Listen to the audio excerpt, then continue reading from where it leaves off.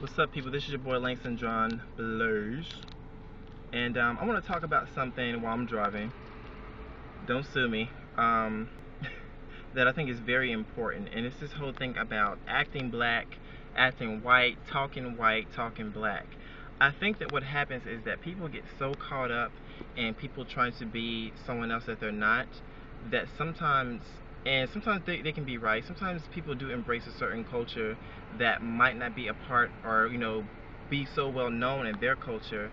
To em embrace certain habits that the majority of, of black people or the majority of white people I am swaying like a pig right now. Um, then the majority of white people or black people um, may be a part of. For instance a lot of people know that black people like Kool-Aid. So you know things, you know, just little simple things like that. Um, there's so many different stereotypes out there. If you if you talk really proper, that means you're talking white. If you see a lot of ghetto or you hang around a lot of ghetto people, that means you're acting black. If you're not black, and I know something that I dealt with a lot in school. You know, people accusing me of not acting black and saying that I talk white and this, that, or whatever. And the thing about it is that you a part of who you are is a part of where you grew up. And with myself, I grew up in a mixed community of people. So there weren't just black people, it wasn't just white people, it was everybody. In my first year of school in kindergarten, I was the only African American kid in my class. Not only African American boy, but I was only African American kid. And growing up, you know, around people that were majority either of another race or white, you know, I don't know. Maybe maybe there was something there that could have, you know, triggered who I am. And I don't think that always has to do with something external. Sometimes it has to do with your family.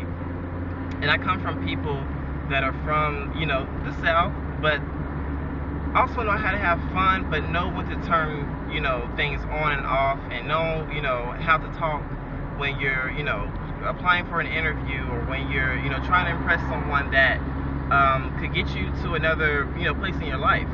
So I think all those things kind of have to dictate you know how you come across to people, not just I'm acting black or I'm acting white or you know there are people that especially white people that grow up in predominantly black communities. And because they act a certain way people will say that they're acting black. It's not about acting black it's about adapting to your environment and being a part of that environment. Not even adapting because uh, when you when you're adapting to an environment, you're getting used to it because you never have before. But when you're a part of something, you're being molded into that, and that kind of determines how you come out as a person. So I don't believe in the phrase "he's acting black," "she's acting white," you know, this, that, or whatever.